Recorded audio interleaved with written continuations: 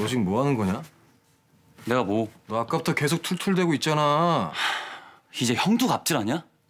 뭐? 진 대표는 돈으로 갑질하더니만 형은 사람 마음으로 갑질하냐고 야 손주영. 툭 까놓고 보라 누나 잘못이 뭔데 그 집안이고 오빠고 다 빼놓고 누나가 형한테 잘못한 게 뭐냐고 그만하자. 아직도 보라 누나 못 잊어서 끙끙대면서 적당히 해 여기서 더 하면 비겁해 보이니까